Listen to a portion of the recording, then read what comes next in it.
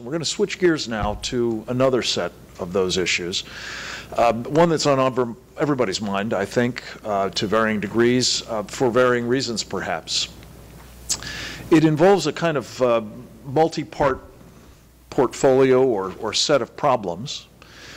Uh, broadly described, they can be called legal and illegal immigration and the dysfunctional policies that we see applied with respect to one or both of those, and the highly selective enforcement of the existing statutes governing our immigration, legal and illegal.